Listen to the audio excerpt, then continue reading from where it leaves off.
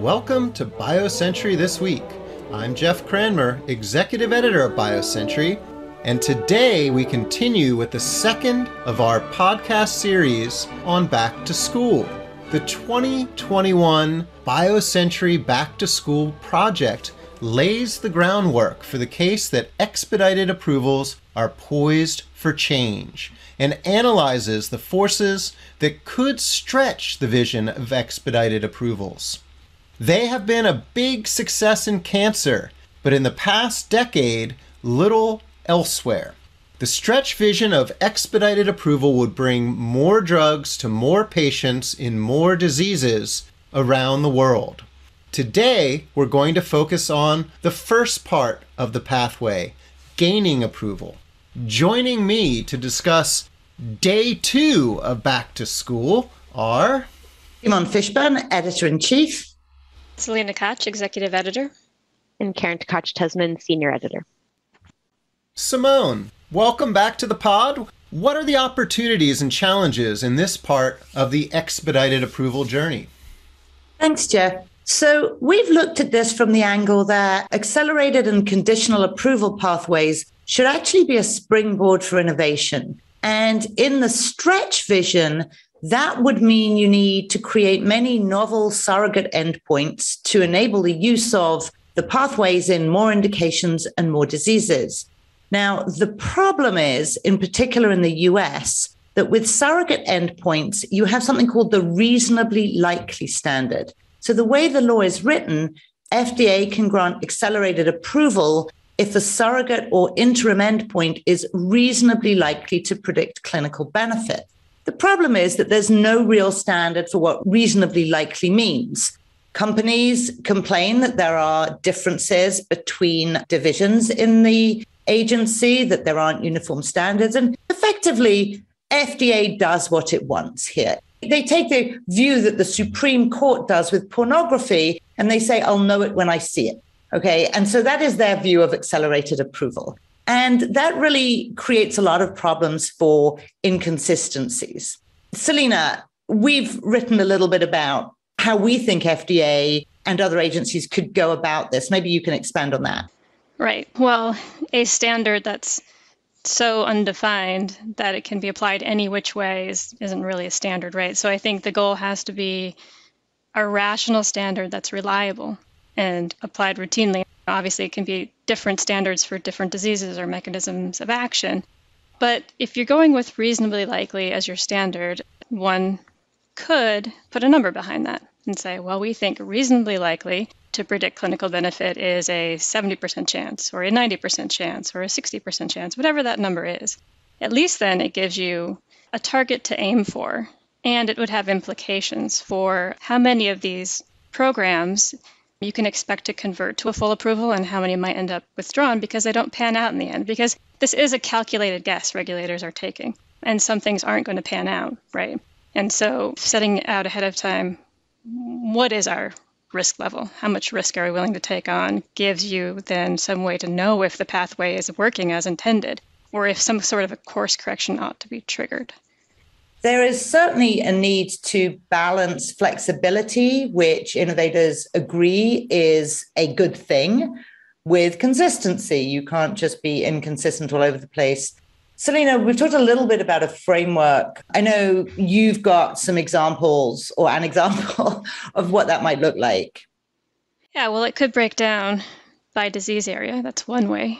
You could think about different levels of flexibility for different diseases, or it could be mechanisms of action. But for instance, in oncology, one type of flexibility that often gets deployed is when you're looking at response rate, which is far and away the most widely used surrogate for cancer cancer drugs, which is objective response rate. And you like them to be north of 30% or so, but FDA does approve lower ORRs. And when it does that, it takes other factors into consideration, such as how long do the responses last? So if they're very fleeting and the response rate is low, it might not get approval. Whereas if it's the response rate is low, but these these responses really do stick around for a while, then it might warrant approval. So other diseases might have their own sort of parameters that need to be taken into consideration. Sort of trade-offs in a way as well. Correct. Yeah, I agree with that. And I, I personally don't think you have regulators sitting there saying, I'm going to rule this way because I need to make my metric. I acknowledge that there are some issues with creating the sort of framework that Selena's outlined, but certainly there has to be an attempt in that direction. And what we also see, which we discuss in the package, is how some other regulatory agencies are approaching this. One thing I want to bring in is Karen, because at this point, it's not like nobody's coming out with new surrogate endpoints. There are a few, very few, I would say, in the near term, certainly not the number that we need for the stretch vision. But let's talk for a few minutes about what's on the short term horizon, Karen. Sure. Well, it's pretty interesting because when we've spoken with people in the past, it seems like it took over 30 years to get agreement around surrogate endpoints like ALT for liver injury. Talking to people now, that has definitely changed. Seen comments from, for example, folks from EMA saying companies are more involved in this, regulators are more involved in this, nonprofits are more involved in this. And so there is more momentum and activity around the quest for surrogate endpoints, and that is bearing some fruits. But when you look at what's the state of the art? What are some surrogate endpoints that are poised for use or have been very recently applied? The theme that you see is that you have basically lots of academics and companies, consortia zooming in on some metric that is already typically part of standard clinical practice, which is why there's a lot of evidence behind it. It's something that doctors have been measuring and maybe making decisions on for years or decades. But then the task at hand is to formally decide that it is predictive enough of outcomes based on epidemiology and interventional trials to say, yes, we think this should be a surrogate endpoint. And the bar is pretty high, and the microscope is pretty focused on things that are already part of day to day clinical practice. And what are a couple of those things? Well, there are actually two that we highlight that are outside of cancer. One could be the basis of an approval any day now. That is proteinuria for IgAN or IgA nephropathy. It's a particular form of kidney disease. And that's something where Calliditas has a PDUFA date coming up in September. In addition to work done by the company and academics around this endpoint, FDA has dug in and done its own work, suggesting that this could be predictive of clinical efficacy. And so that's on the docket.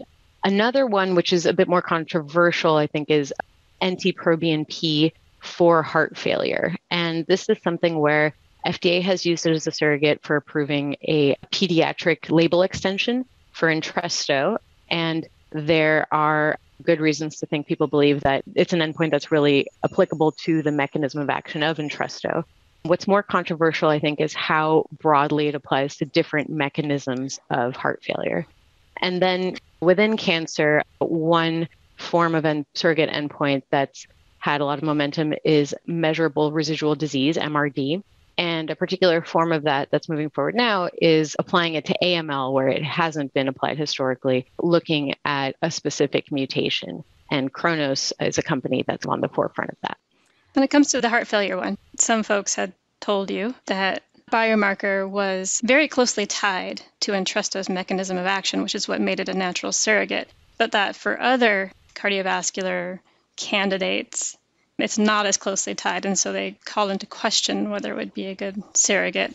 There's kind of two ways of looking about that, though, right? I mean, a good surrogate, I mean, it, it needs to predict clinical benefit. So it could just be something that does that, that has functional consequences, regardless of how closely tied it is to a particular drug's mechanism or not. On the other hand, if we move towards molecular mechanisms, say for genetic diseases and whatnot, where you're targeting primary disease drivers, in those cases, you really do want a surrogate that is that driver or is very closely, very close downstream of that driver. How do you look at the sort of tension between those two things? Well, I think the argument is that if you really want evidence that this drug is working, not just that the patient is overall doing more or less okay or not, which could maybe involve other factors about their background, et cetera, that you really want to hew closely to the drug's mechanism of action. But what was interesting is in the story, we highlight some data out of a group at Bayer that looked at a lot of real world evidence and a lot of clinical trials. And they make the case that it's predictive across a, a wide range of mechanisms of action. So it'll be interesting to see how real world data becomes more involved in teasing these things apart. Right. Although you, you could argue that as long as there's a big difference from the placebo group, how closely it's tied to the drug's mechanism may not matter so long as it, it does indeed predict clinical benefit. I could see it both ways. I'm curious what's on the long term horizon here.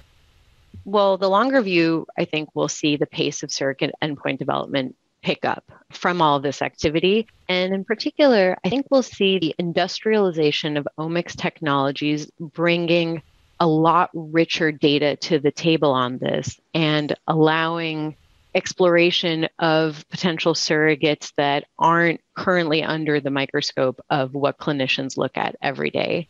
So, this is something where I spoke with companies that are developing technologies for a wide range of omics biomarkers, transcriptomics, metabolomics, proteomics, and ask them where is the state of the science now, the state of the application, and what would it take to apply these things to surrogate endpoint development. And it was interesting to see one technology in particular that has a lot of momentum right now is spatially resolved transcriptomics. And a major breakthrough around that was because you can now do this on formalin preserved tissues that companies have going back for years. And so there's this bit of a time machine effect where people are able to look at results from studies where maybe they even know outcomes now and can look retrospectively and see in an unbiased fashion what are some predictive markers that could then be further followed up on as surrogates. When you're looking at an omics scale, you have to be extra careful around your statistics because when you're looking at thousands of parameters in hundreds of patients, you can end up with some statistical issues that lead you down wrong alleys. And there's some attention paid to that in the story. We dig into that.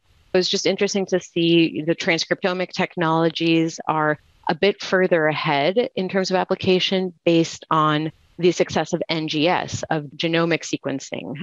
Genomics, of course, giving you more of a static picture of what a patient looks like based on their baseline characteristics, and uh, these other technologies giving you more of a phenotype, therapeutic responsive picture of what's going on. But mass spec based technologies like metabolomics and proteomics are coming up there's more organization in terms of standardization of protocols, and people are looking into ways to reliably look at longitudinal data in those modalities. So it will be interesting to see what comes out as these become deployed for endpoints more regularly. It's really a very exciting scene that's unfolding. We have been watching and will continue to watch spatial transcriptomics and the different ways that that is going to deliver data and we really do think that adoption of these technologies is going to fuel biomarker discovery broadly. And that is actually, I'm going to set you up, Jeff, for tomorrow's because having these in place, once you get approval, you need to confirm approval using post marketing studies. Thanks for that, Simone. That sets us up perfectly for tomorrow's back to school content and what we'll discuss on the pod we will be digging into that second part of the pathway, generating the confirmatory evidence. And then on Thursday, we'll talk about the third stage, modifying decisions after you get that evidence or don't get it. And then Friday, we'll be wrapping the package with our overarching essay, which ties this all together all of the first two days of our 2021 BioCentury Back to School content can be found on our website, biocentury.com. We look forward to chatting more back to school tomorrow. All of BioCentury's podcasts are available on Spotify, Stitcher, Apple, and Google. Kendall Square Orchestra provides the music for our podcasts the group connects science and technology professionals and other members of the greater Boston community to collaborate, innovate, and inspire through music while supporting causes related to healthcare and education.